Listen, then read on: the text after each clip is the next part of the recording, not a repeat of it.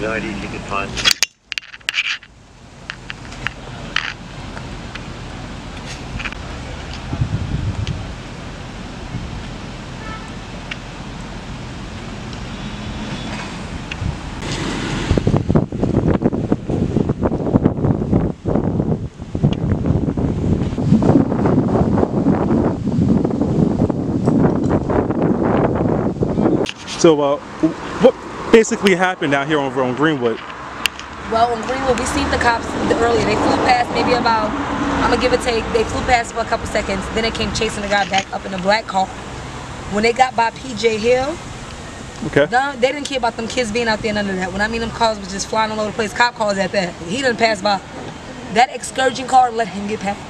That cop car could have rammed him right there and stopped over.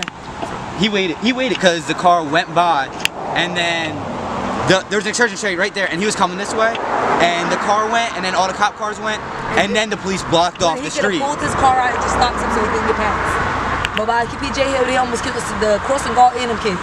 There was a whole family in the middle of crossing, and they Yeah, just they just straight kept going. The- A good 12 cop car. Didn't care. They had to be doing about a good 55 over there. It's about 60. It was definitely like 60 because it was going hard. But as far as we know, we know that they were chasing the group of brothers. That's what we know, but that's just talking to town.